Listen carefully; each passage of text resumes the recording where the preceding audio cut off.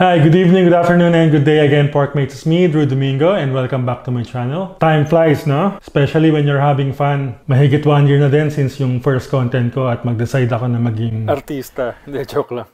content creator. Kaya ang title nga ng page ko ay Life Begins at Porky.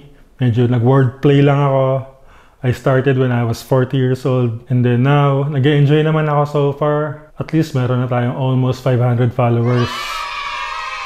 Speaking of time flies, ngayon nagluto ako ng Shandong Chicken. Or sa ibang restaurant, pangalan niya Shantong Chicken. Hindi ito yun. Hindi. Actually, ito siya, pero hindi siya sinaserve ng buo. Chop na siya, pero pinapakita ko lang sa inyo kasi maganda yung itsura niya. So yun nga, mabalik tayo. 18 years ago, when dumating ako dito, uh, pinatikim sa akin to ng pinsan ko. Hindi ko nababanggit yung pangalan ni Aaron kasi shy type siya. So, uh, dinala niya ako sa Kingsford, meron Chinese restaurant doon. Uh, maraming tao mo order ng Shandong Chicken. But recently lang, may bago akong katrabaho na dating may-ari ng Chinese restaurant dito sa Australia. Sabi niya sa akin, wala daw ganito sa China. So basically, na-invento siguro to dito sa Australia. Ewan ko, sa Amerika or Canada baka meron din. Siguro ginawa to para patok sa panlasa ng mga Australiano.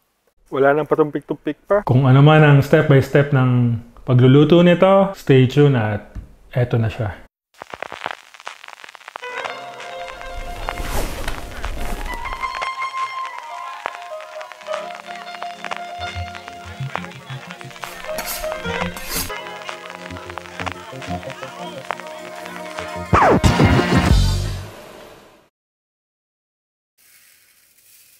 Ang unang-una kong gagawin ay bibigyan ng full body spa ang manok gamit ang asin. Tatanggalin ko yung mga natitirang balahibo at aalisin ang dead skin, lalo na yung nasa tuhod.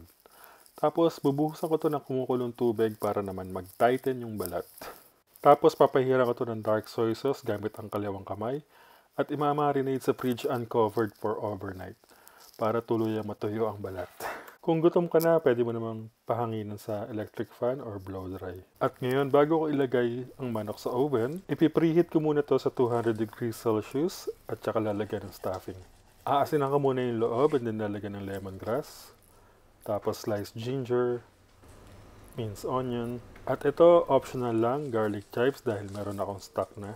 Tapos make sure lang bago nyo i-oven, ipapahira nyo siya ng mantika para hindi siya masunog. Yan, kaysa maghintay kayo ng isang oras na walang ginagawa, ay gawin nyo na lang yung sauce.